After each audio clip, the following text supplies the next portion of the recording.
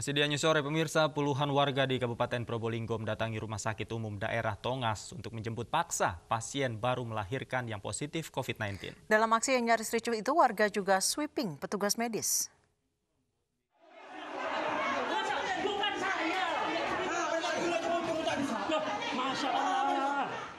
Aksi puluhan warga desa Patalan Probolinggo yang mendatangi Rumah Sakit Umum Daerah Tonggas terekam kamera amatir. Jadi,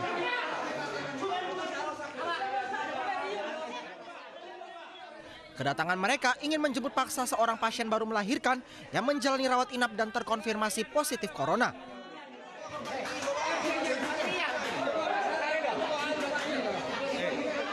Tidak hanya menjemput paksa pasien, warga juga sweeping tim medis dan sempat terjadi adu dorong serta nyaris ricuh dengan petugas rumah sakit.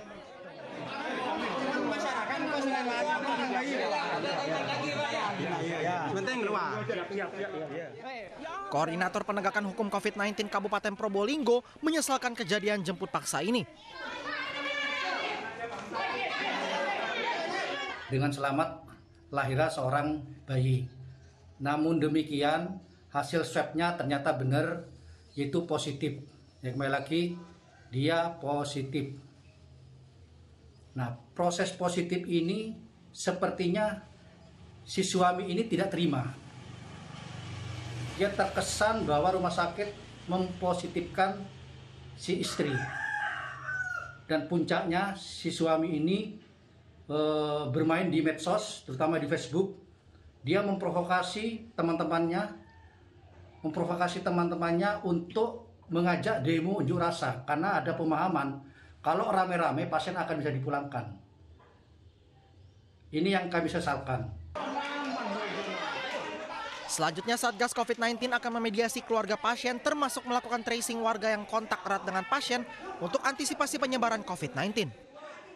Dari Probolinggo, Jawa Timur, Hana Purwadi, iNews melaporkan. Langgar larangan beroperasi di tengah pandemi COVID-19, rumah karaoke di Surabaya, Jawa Timur digerebek petugas gabungan. Untuk menghindari kecurigaan, pengelola rumah karaoke memadamkan seluruh lampu penerangan dan mengunci pintu.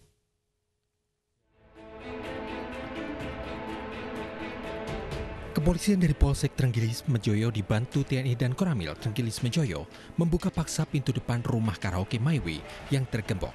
Setelah berhasil membuka pintu depan rumah karaoke yang berada di kompleks Ruko Panjang Jiwo Surabaya ini, polisi dan TNI yang dibantu Satgas COVID-19 Kota Surabaya menggeledah seluruh ruangan karaoke.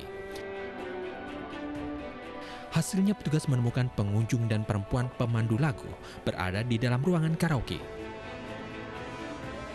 Untuk menghindari petugas, para pengunjung bersembunyi di kamar mandi, gudang maupun ruang penyimpanan minuman. Saya menutup pintu dari luar, menutup pintu dari luar, lalu di bagian luar ini mati, lalu pelang juga yang di depan juga mati. Jadi seakan-akan tidak ada aktivitas.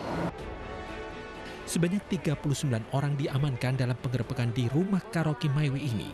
Ke-39 orang tersebut dibawa ke Polrestabes Surabaya untuk dilakukan tes swab. Dari Surabaya, Jawa Timur, Yuda Prawira, iNews melaporkan. Sebagai salah satu gugus terdepan melawan COVID-19, pengurus RT dan RW berperan penting melindungi masyarakat dari persebaran COVID-19. Di Paseban, Jakarta Pusat, warga dan pengurus permukiman bahu-membahu menciptakan lingkungan sehat untuk mencegah paparan COVID-19.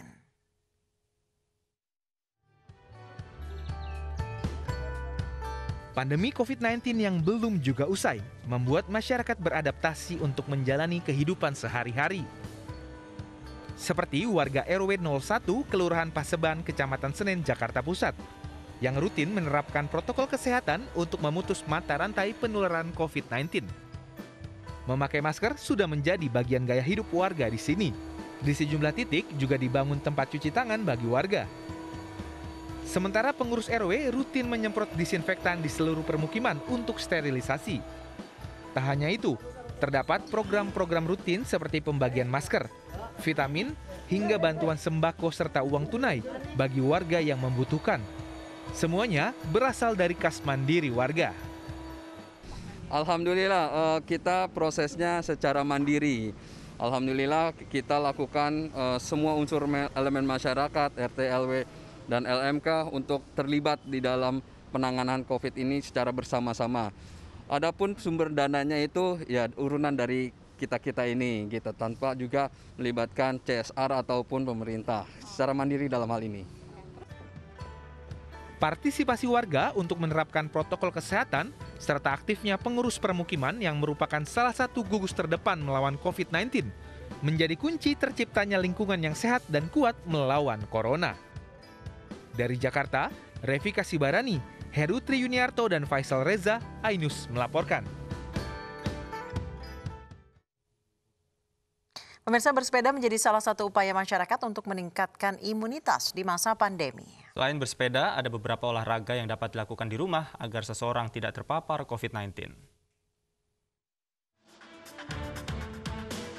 Masa pandemi COVID-19 belum berakhir, masyarakat harus menjaga diri serta orang lain agar tidak terpapar COVID-19 dengan beberapa hal, mulai dari mematuhi protokol kesehatan dengan mencuci tangan, menjaga jarak, dan menggunakan masker dengan benar. Selain mematuhi protokol kesehatan, warga juga berusaha menjaga kondisi tubuh agar imunitas terus meningkat dengan berolahraga. Saat ini bersepeda menjadi salah satu olahraga yang diminati masyarakat. Selain menyehatkan, dengan bersepeda warga juga dapat sekaligus berwisata. Namun ada harus yang dijaga agar bersepeda tetap aman karena dilakukan di luar ruangan. Seperti yang disampaikan juru bicara Satgas Penanganan COVID-19, Reza Broto Asmoro, ada beberapa olahraga dilakukan di rumah, seperti olahraga kardio, yoga, hingga senam. Kami pernah menginformasikan soal pedoman dari Kementerian Pemuda dan Olahraga, di antaranya adalah olahraga di rumah sebagai opsi terbaik. Yoga misalnya, senam, atau mempraktekkan berbagai tips stretching dan angkat beban. Lalu, apabila memutuskan untuk olahraga di luar rumah, perhatikan intensitasnya ya. Untuk yang tingkat intensitasnya ringan, seperti jalan sehat, senam ringan, disarankan tetap memakai masker. Nah, apabila olahraga di luar rumah, tetap disarankan untuk menjaga jarak aman dan usahakan memakai masker selalu. Selain menjaga kebugaran dan meningkatkan imunitas tubuh sehingga terhindar dari infeksi COVID-19, olahraga juga mencegah berbagai macam penyakit seperti kolesterol, asam urat, kencing manis, jantung koroner, dan beberapa penyakit lainnya karena olahraga memacu kinerja jantung untuk bekerja lebih cepat sehingga memperlancar aliran darah. Dari Jakarta, Tim Liputan iNews melaporkan. Pemirsa lalat identik dengan sampah dan penyakit, namun siapa sangka beternak lalat ternyata bisa mendatangkan keuntungan hingga 10 juta rupiah per bulan. Potensi ekonomi yang tinggi ini dimanfaatkan warga Pemalang untuk menghasilkan keuntungan di tengah resesi dan pandemi.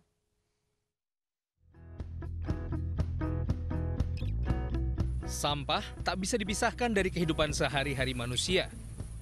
Bila tidak ditangani dengan baik, sampah berpotensi mengundang lalat yang berujung membawa bibit penyakit. Namun siapa sangka lalat ternyata memiliki nilai ekonomis tinggi. Bukan sembarang lalat, melainkan lalat tentara hitam atau black soldier fly. Dikenal dengan nama latin Hermetia illucens, lalat tentara hitam ini bisa ditemui di penjuru dunia, terutama di wilayah tropis. Lalat ini menjadi satu dari sedikit spesies lalat yang tidak membawa patogen dan menyebarkan penyakit. Sadar akan potensi ekonomi dari lalat hitam, warga Pemalang, Jawa Tengah mencoba membudidayakannya. Rasa jijik dan stigma kotor lalat ditepis demi meraih pendapatan di tengah pandemi dan resesi. Sementara secara ekonomi, budidaya lalat hitam cukup menjanjikan. Satu ekor lalat menghasilkan 500 hingga 700 butir telur. Mana setiap gram telur lalat bisa dijual seharga Rp10.000 atau per kilogram senilai 10 juta rupiah.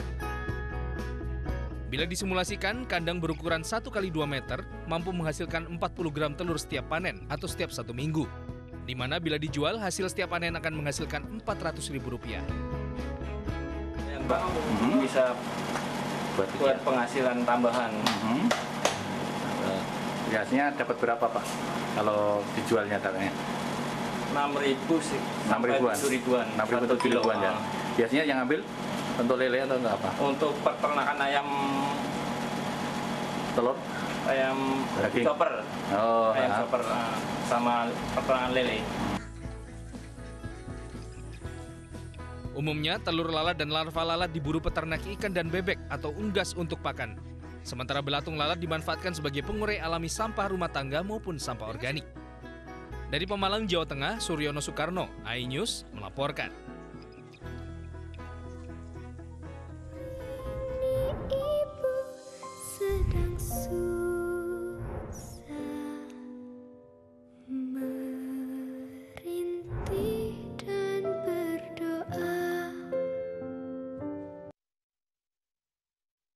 Dan pemirsa usai sudah kebersamaan kita dalam iNews sore hari ini mewakili teman-teman yang bertugas saya Anissa Dasuki. Dan saya Davi Pratama pamit undur diri. Terima kasih atas kebersamaan Anda. Selamat sore dan Sampai, jumpa.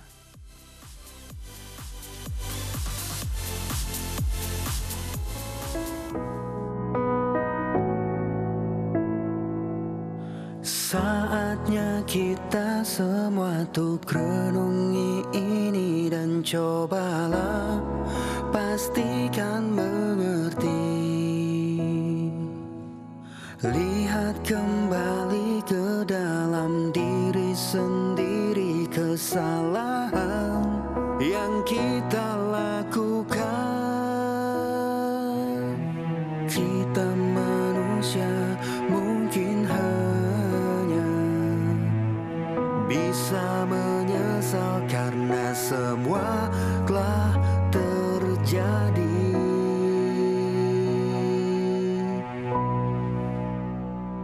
Cobalah mari kita semua saling menyayangi dan saling berbagi dan bersama untuk hadapi bencana kelak sambut pagi dan cerah mentari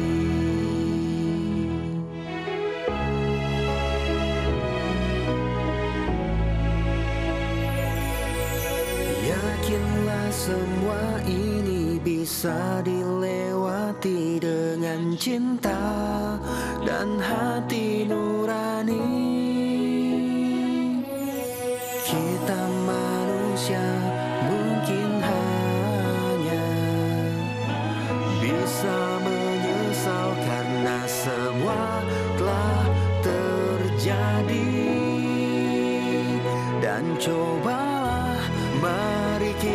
semua saling menyayangi dan saling berbagi dan bersama untuk hadapi bencana kelak sambut pagi dan cerah mentari.